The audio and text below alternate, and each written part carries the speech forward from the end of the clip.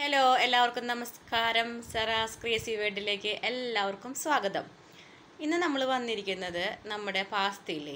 Pasta വെച്ചിട്ടുള്ള ഒരു recipe ആയിട്ടാണ്. ഒരു റെസിപ്പി ഞാൻ മുന്നേ ഇട്ടിട്ടുണ്ട്. ഇതല്ല അതല്ലാതെ നമ്മുടെ നാടൻ രീതിയിൽ നമ്മുടെ പാസ്തേനെ ഒന്ന് എന്റേതായ രീതിയിലേക്ക് ഞാൻ കൊണ്ടുവന്നിട്ട് ഒന്ന് റോസ്റ്റ് ചെയ്തെടുത്തിട്ടുള്ളതാണിത്. അപ്പം നിങ്ങൾ ഒന്ന് ശ്രദ്ധിച്ച് നോക്കിയിട്ട് നിങ്ങൾക്ക് ഇഷ്ടപ്പെടുവാണെന്നുണ്ടെങ്കിൽ നിങ്ങൾ ട്രൈ ചെയ്ത് നോക്കണം. പിന്നെ ഒരു കാര്യം കൂടി ഞാൻ പറയുകയാണ്. എന്റെ ചാനൽ നിങ്ങൾ ആദ്യമായിട്ടാണ് കാണുന്നതെങ്കിൽ എനിക്കിത് സബ് സബ് തന്ന് എന്നെ ഒന്ന് സഹായിക്കണം. ഒപ്പം ലൈക്കും ഷെയറും കമന്റും തരണം. അപ്പോൾ നമുക്ക് അധികം വൈകാതെ വീഡിയോയിലോട്ട് പോകാം. അപ്പോൾ നമ്മൾ ഫ്രൈഡ് പാസ്ത റെഡിയാക്കാൻ പോവുകയാണ് അതിന് വേണ്ടിയിട്ട് ഞാനിവിടെ എടുത്തിരിക്കുന്നത് വളരെ കുറച്ച് ഐറ്റംസ് ആണ്. ഒരു മീഡിയം സൈസ് സവോള ചെറുതാക്കി കട്ട് ചെയ്ത് വെച്ചിട്ടുള്ളത് എത്ര നൈസാക്കി നിങ്ങൾക്ക് കട്ട് ചെയ്യാൻ പറ്റുന്ന അത്രയും നൈസാക്കി നിങ്ങൾ കട്ട് ചെയ്ത് വെക്കുക. അതുപോലെ തന്നെ ഒരു ആറ് വെളുത്തുള്ളി പൊടി പൊടിയായിട്ട് അരിയാൻ നിങ്ങൾ ശ്രമിക്കുക.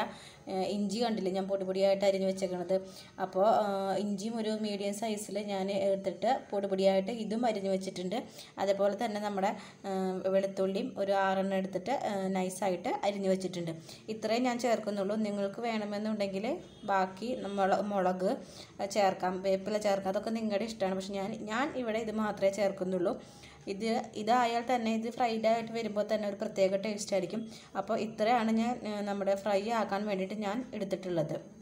അപ്പോൾ നോക്കൂ ഞാൻ ആദ്യമേ തന്നെ പാസ്ത വേവിക്കാനായിട്ട് വെച്ചു. കുറച്ച് വെള്ളം ഒഴിച്ച് അതിലേക്ക് ഉപ്പിട്ട് കുറച്ച് ഓയിലും കൂടി ഒഴിച്ചിട്ട് നമ്മുടെ വെള്ളം തിളച്ച് വന്നപ്പോൾ ഞാൻ പാസ്ത അതിലേക്ക് ഇട്ടു. ഓരോ പാസ്തയ്ക്കും ഓരോ സമയം ഉണ്ടാവും ഇപ്പം എന്റെ കയ്യിലിരിക്കുന്ന പാസ്തയുടെ സമയം എന്ന് പറഞ്ഞാൽ പത്ത് മിനിറ്റാണ്. അപ്പോൾ പത്ത് മിനിറ്റ് ഞാൻ വേവിച്ചെടുത്തിട്ടുണ്ട്. ഇനി ഞാനിത് വെള്ളം ഊറ്റിക്കളഞ്ഞിട്ട് സെപ്പറേറ്റ് ആക്കാൻ പോവാണ്. പാസ്ത മാത്രമാക്കിയിട്ട് ഒന്ന് വെള്ളം ഫുള്ളായിട്ട് മാറിക്കഴിഞ്ഞ് ഒന്ന് ഡ്രൈ ആവണം. അപ്പോൾ ഇപ്പോൾ ഇത് വെന്തിട്ടുണ്ട്.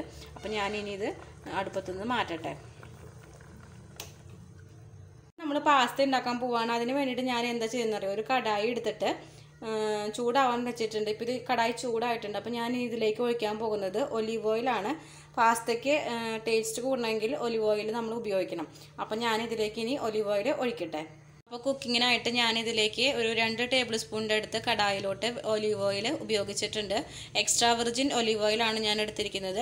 അപ്പോൾ ഒലിവ് ഓയിൽ നന്നായി ചൂടായതിന് ശേഷമാണ് നമ്മുടെ സവോളയും വെളുത്തുള്ളിയും ഇഞ്ചിയും വാട്ടാനായിട്ട് നന്നായി നന്നായി ഡ്രൈ റോസ്റ്റ് ആവണ വരെ വാട്ടണം കേട്ടോ അപ്പോൾ നോക്കൂ നമ്മുടെ സവോളയും ഇഞ്ചിയും വെളുത്തുള്ളിയും ഒക്കെ ഇവിടെ നന്നായിട്ട് റോസ്റ്റ് ചെയ്ത് വന്നുകൊണ്ടിരിക്കുകയാണ് നല്ല ബ്രൗൺ കളറിലേക്ക് മാറണം. അതായത് ഞാൻ പറയാമെന്ന് വെച്ചിട്ടുണ്ടെങ്കിൽ നമ്മുടെ ബിരിയാണിക്കൊക്കെ നമ്മൾ നമ്മുടെ സവോള നന്നായി വറുത്തെടുക്കില്ലേ? അതേ ലെവലിലേക്ക് നമ്മുടെ ഇഞ്ചിയും വെളുത്തുള്ളിയും സവോളയും ഒക്കെ ഡ്രൈ ആയിട്ട് റോസ്റ്റ് ചെയ്ത് വരണം. അപ്പോഴാണ് പാസ്തയുടെ ടേസ്റ്റ് നിങ്ങൾക്ക് കറക്റ്റായിട്ട് കിട്ടുള്ളൂ.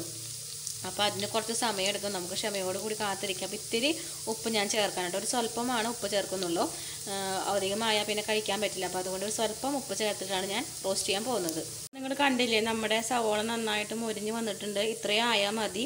ഇനി അധികം ആവാനായിട്ട് നിൽക്കരുത് അപ്പം നമ്മൾ ഇനി ഇതിലേക്ക് ചേർക്കുന്നത് ഒരു കാ ടീസ്പൂണിന്റെ അടുത്ത് മഞ്ഞൾപ്പൊടിയും ഒരു അര ടീസ്പൂണിന്റെ അടുത്ത് മുളക് പൊടിയാണ് ഞാനിപ്പോൾ ചേർക്കാൻ പോകുന്നത്. ചേർത്തിട്ട് ഞാൻ നിങ്ങൾക്ക് കാണിച്ചു തരാം.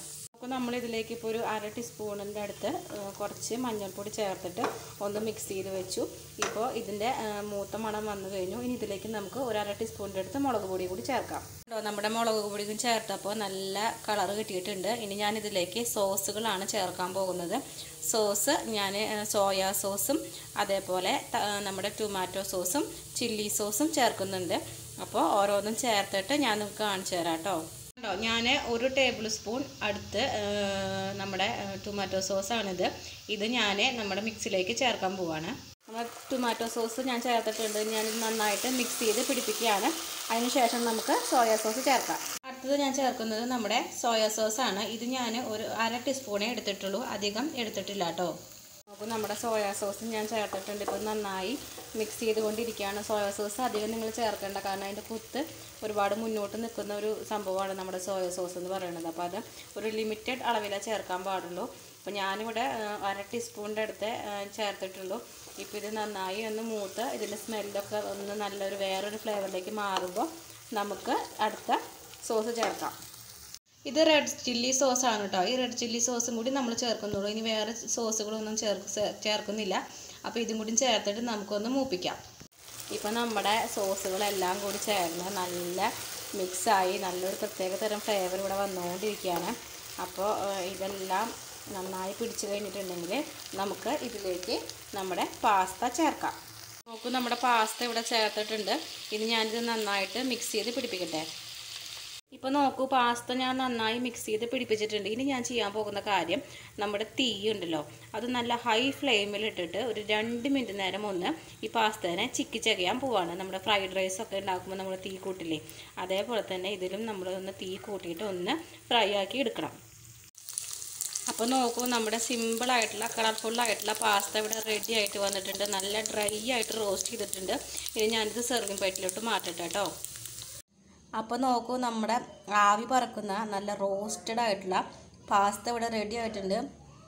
എന്റെ വായിൽ വെള്ളം വന്നുകൊണ്ടിരിക്കുക ഞാനിത് കുറച്ചൊന്ന് ടേസ്റ്റ് ചെയ്ത് നോക്കി. അപ്പോൾ അത് കഴിക്കാനുള്ള വെപ്രാളായി തുടങ്ങി എനിക്ക്. അപ്പോൾ നിങ്ങളെല്ലാവരും ഇത് ട്രൈ ചെയ്ത് നോക്കണം. ഇത് വേറൊരു ഫ്ലേവറാണ് നിങ്ങൾക്ക് ഒരു ഹോട്ടലിലും ഈ ഒരു ഫ്ലേവർ കിട്ടില്ല. നിങ്ങൾ വീട്ടിൽ തന്നെ ഉണ്ടാക്കി നോക്കിയാലും നിങ്ങൾക്ക് അതിന്റെ ടേസ്റ്റ് മനസ്സിലാവുള്ളൂ. അപ്പോൾ ഉണ്ടാക്കി നോക്കിയിട്ട് എല്ലാവരും എന്നോട് അഭിപ്രായം പറയണം.